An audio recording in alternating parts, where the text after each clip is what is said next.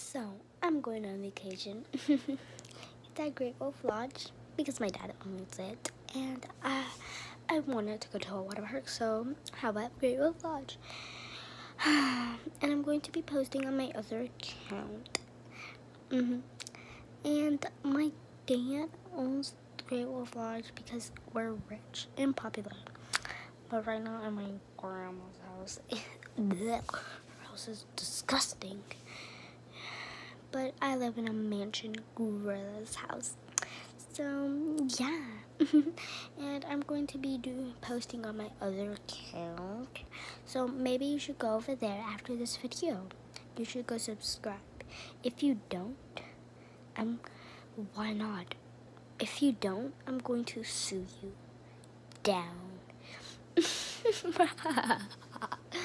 Ah. go there now.